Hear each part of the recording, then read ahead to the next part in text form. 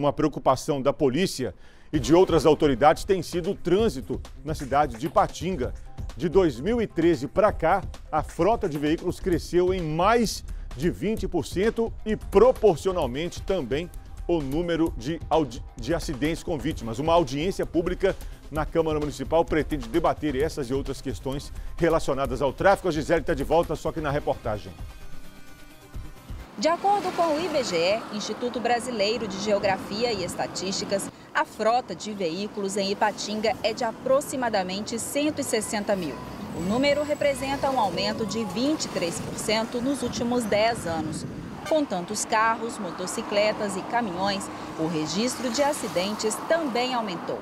Entre janeiro a julho do ano passado, a Polícia Militar registrou mais de 2.600 acidentes de trânsito. No mesmo período deste ano, foram 2.901 ocorrências. O levantamento da PM ainda mostra que as principais ocorrências são batidas laterais e frontais.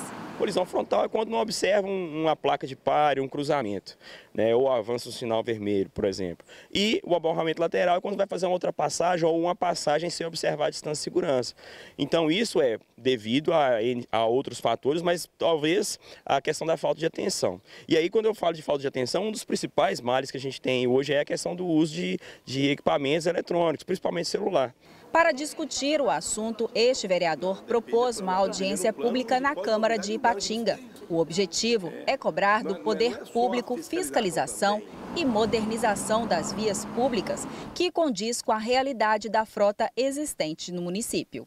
Em Patinga, hoje nós temos 2,5% de todos os acidentes de trânsito do estado aqui dentro. É muita vítima fatal, são pessoas que tiveram trauma, traumas permanentes. Então, isso custa muito caro para a saúde, isso muito, custa muito caro para o psicológico da nossa comunidade. E a única forma de fazer isso é discutir e responsabilizar. Responsabilizar quem? As autoridades, nosso povo nós também, como pessoas, saber o que é um trânsito mais seguro, o que é, o que é educação que vamos levar para nossas casas, para nossas escolas. E aí, o objetivo aqui é trazer toda essa informação das pessoas que entendem ou não entendem de trânsito. A discussão esbarra em um ponto importante. Ipatinga não possui um plano municipal de mobilidade urbana que influencia diretamente no trânsito. É com este documento também que o município consegue, por exemplo, captar verbas junto ao governo federal para melhorias no trânsito viário mobilidade urbana é muito importante. E Patinga já, tá nessa, já, já é carente hoje de grandes obras de viabilidade, de mobilidade, que possa melhorar nosso trânsito. Agora, Ipatinga aí não tem um plano municipal de mobilidade urbana. E por que não tocar nesse assunto hoje? E por que não hoje a provocar quem é responsável por isso para que faça? Né? Porque a partir do momento que você tem um plano municipal de mobilidade urbana e traçando esse plano para uma década, por exemplo, você começa a fazer investimentos pensando em uma década, pensando em cidades e não pensando apenas em bairros, que cada bairro puxa para o seu, cada comunidade puxa para a sua. Então nós temos hoje bairros, por exemplo, que tem um trânsito muito intenso, mas que já tiveram investimentos altíssimos para melhorar o trânsito daquela, daquela região ali.